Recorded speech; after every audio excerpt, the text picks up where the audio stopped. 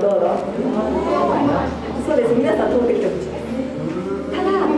この道路とかトンネルってやっぱり数十年前にできたんですね。でそれ以前っていうのは道路とかじゃなくて小高い丘になってたんですよ。でこの丘の中に謎の岩でできた縦穴がこう開いてたんですけど地元の人たちがよく気になったみたいで石拾っては投げ入れて遊んでたんですね。その穴がもうすごい深く続いてたので石がこう音立てながらずっと落ちていったんですよこんな感じでガン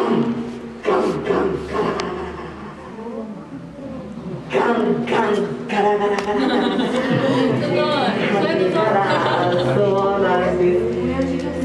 今日はちょっとだけ笑ってもらえて本当は幸せ本当にその時って地元の人たちがこの辺りをガンガラっていう風になったんです。